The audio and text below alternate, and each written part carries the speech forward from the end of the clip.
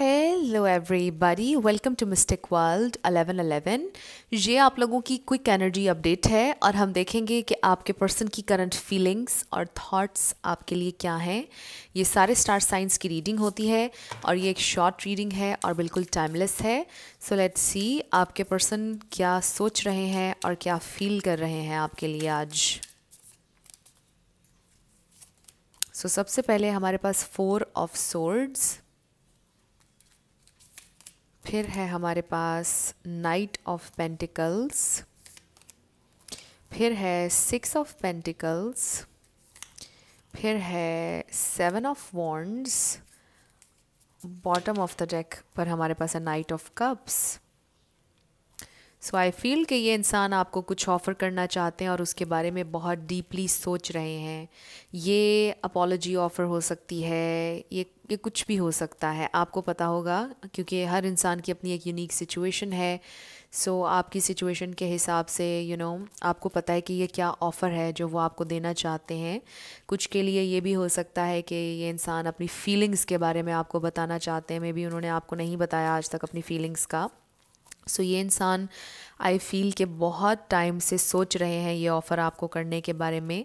ये इंसान बहुत टाइम से आपके लिए कुछ प्लान कर रहे हैं एंड फाइनली वो ये सोच रहे हैं कि अब टाइम आ गया है कि इस पर इम्प्लीमेंटेशन होनी चाहिए। ये जो भी प्लान उन्होंने बनाया है इतने अरसे से जिस जिस चीज़ पर ये काम कर रहे हैं, जो ये सोच रहे हैं आपके लिए इन्होंने करना है, अब वो सोच रहे हैं कि अब इसका टाइम आ चुका है। एंड आई फील कि ये बैलेंस है, ये इन्वेस्ट करना चाहते हैं अपनी एनर्जी अपना प्यार, अपना टाइम अटेंशन आपको देना चाहते हैं। And with the seven of wands I feel कि ये इंसान, इन्होंने आप पर गिव अप नहीं किया है। ये इंसान फ़ाइट करना चाहते हैं आपके लिए। चाहे जितने भी ऑब्स्टिकल्स हों, उन सब के ख़िलाफ़ लड़ना चाहते हैं। ये इंसान आप पर बिल्कुल भी गिव अप नहीं करना चाहते हैं। ये इंसान फ़ाइट करेंगे आपके लिए। एंड आई फील के ये इंसान आपको परस्यू करना चाहते हैं, आपको बताना चाहते हैं कि वो आपके प्यार के लिए कुछ भी कर सकते हैं, आपके प्यार के लिए वो फ़ाइट कर सकते हैं, ये इंसान आपको ये बताना चाहते हैं। So they really feel this motivation आपके पर्सन ने बहुत ज़्यादा मोटिवेशन फील कर रहे हैं इस कनेक्शन के लिए फ़ाइट करने के लिए। मे बी आप लोग सेपरेशन में थे या बहुत टाइम से रिलेशनशिप बहुत अच्छा नहीं चल रहा था, खामोशी सी थी, बहुत कम कम बात हो रही थी। सो आई फील कि आपके पर्सन के अंदर ये स्पार्क ये मोटिवेशन रिन्यू हुई है कि वो इस कनेक्शन के लिए कुछ करें।